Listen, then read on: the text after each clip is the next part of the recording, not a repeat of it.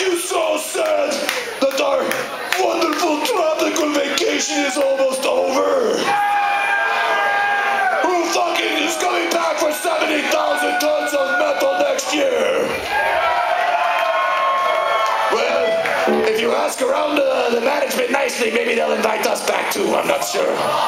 But I'm kind of scared of the boat. I mean, so many things could go wrong. And I can't swim. In for. Wait, we're on a boat? Uh, Yeah, we're on a boat. You've been drunk the whole time, B.A. Baracus. Well, you better, you better be scared, because you might suffer